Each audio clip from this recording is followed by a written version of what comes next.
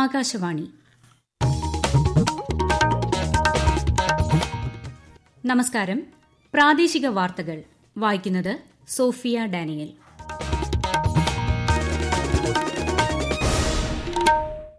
പ്രധാന വാർത്തകൾ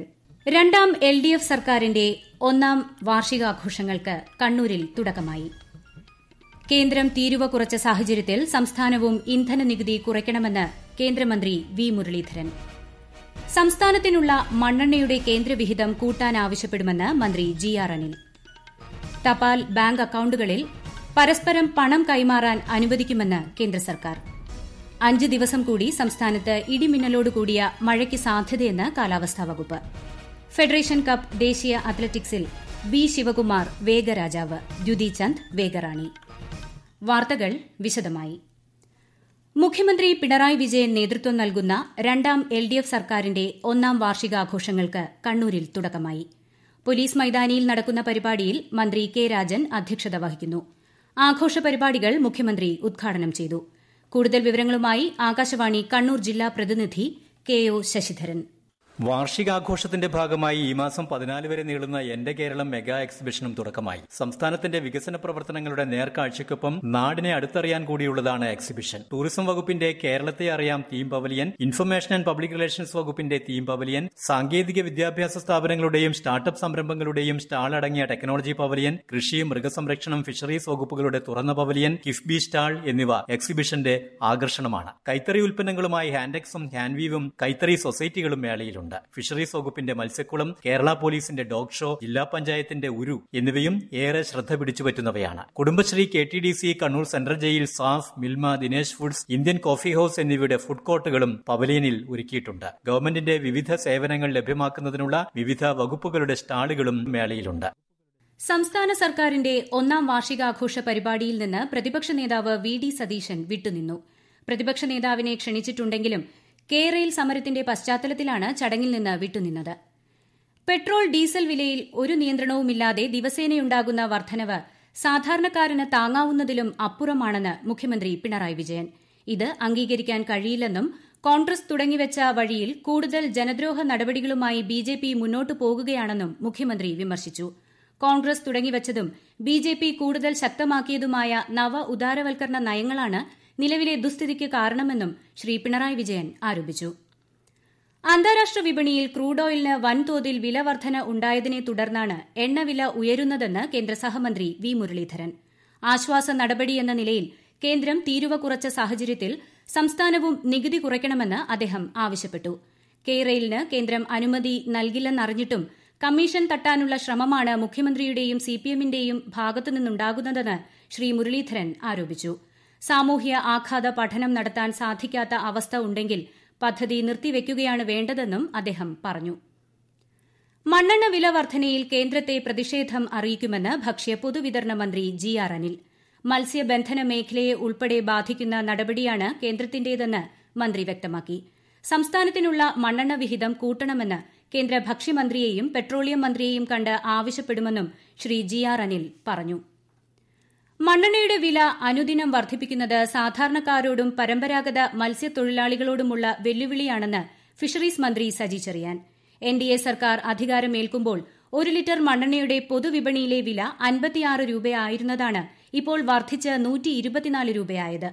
മത്സ്യബന്ധനത്തിനുള്ള ഇന്ധനമായി പ്രധാനമായും മണ്ണെണ്ണയെ ആശ്രയിക്കുന്ന കേരളത്തിലെ പരമ്പരാഗത മത്സ്യത്തൊഴിലാളികൾക്ക് വില വർദ്ധനവ് താങ്ങാവുന്നതിലും അധികമാണെന്നും മന്ത്രി പറഞ്ഞു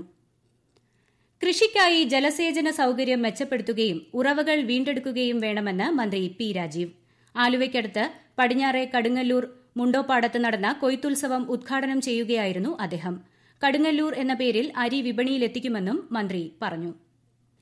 സംസ്ഥാനത്ത് ഇന്ന് പേർക്ക് കോവിഡ് സ്ഥിരീകരിച്ചു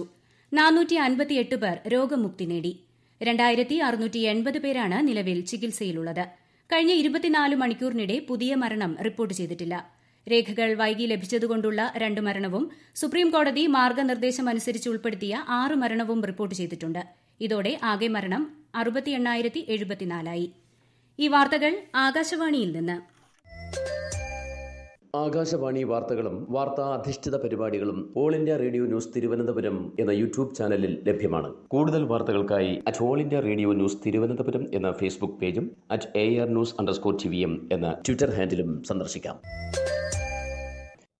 തപാൽ ബാങ്ക് അക്കൌണ്ടുകളിൽ പരസ്പരം പണം കൈമാറാൻ അനുവദിക്കുന്ന any time anywhere post office saving scheme നടപ്പാക്കുമെന്ന് കേന്ദ്ര സർക്കാർ രാജ്യത്തുടനീളമുള്ള തൊണ്ണൂറ്റിയാറ് ശതമാനം പോസ്റ്റ് ഓഫീസുകളും കോർ ബാങ്കിംഗ് സംവിധാനത്തിന് കീഴിലായി കഴിഞ്ഞു ഇന്ത്യയിലാകെയുള്ള ഒരു ലക്ഷത്തി അൻപത്തെണ്ണായിരത്തി അഞ്ഞൂറ്റി ഇരുപത്തിയാറ് തപാൽ ഓഫീസുകളിൽ ഒരു ലക്ഷത്തി അൻപത്തിരണ്ടായിരത്തി അഞ്ഞൂറ്റി പതിനാല് തപാൽ ഓഫീസുകളാണ് കോർ ബാങ്കിംഗ് സംവിധാനം ഇതിനോടകം പ്രവർത്തനക്ഷമമായത്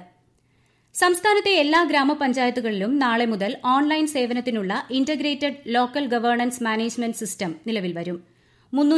പഞ്ചായത്തുകളിൽ ഈ സംവിധാനം നേരത്തെ നടപ്പിലാക്കിയിരുന്നു ഇന്റർനെറ്റ് വേഗക്കുറവ് പരിഹരിച്ചതോടെയാണ് ബാക്കിയുള്ള പഞ്ചായത്തുകളിലും സംവിധാനം നിലവിൽ വരുന്നത് തദ്ദേശ സ്ഥാപന സേവനങ്ങൾ മൊബൈൽ ആപ്പിൽ ലഭ്യമാക്കാനും പദ്ധതിയുണ്ട്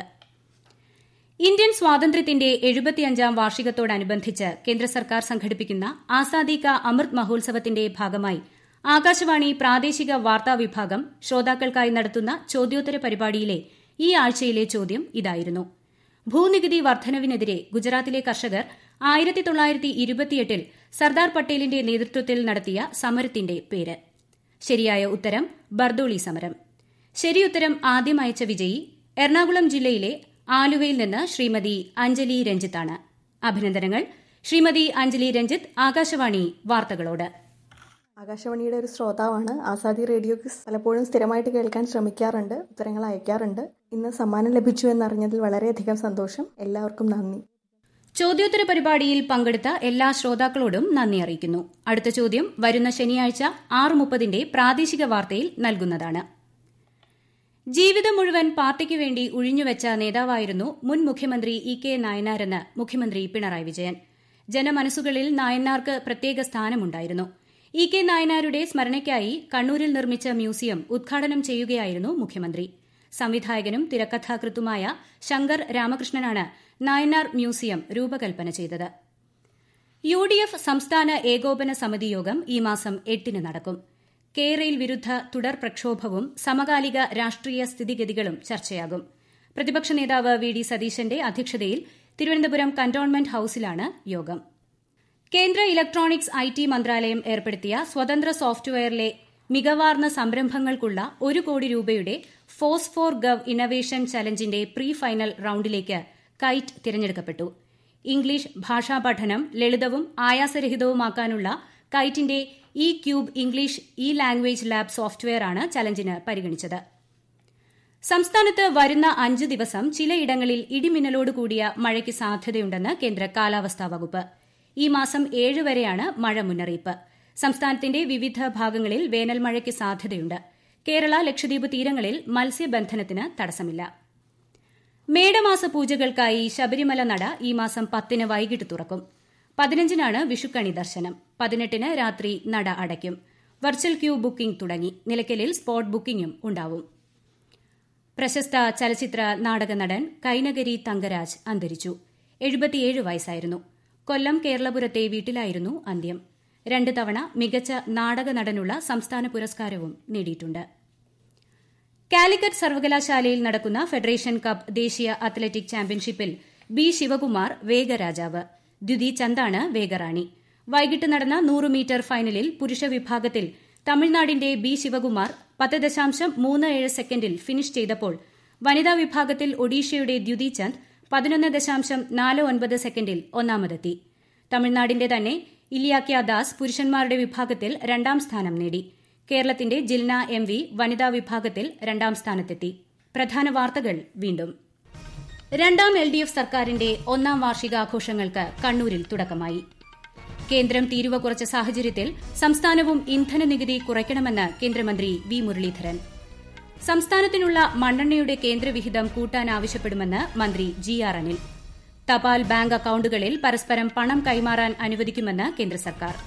അഞ്ച് ദിവസം കൂടി സംസ്ഥാനത്ത് ഇടിമിന്നലോട് കൂടിയ മഴയ്ക്ക് സാധ്യതയെന്ന് കാലാവസ്ഥാ വകുപ്പ്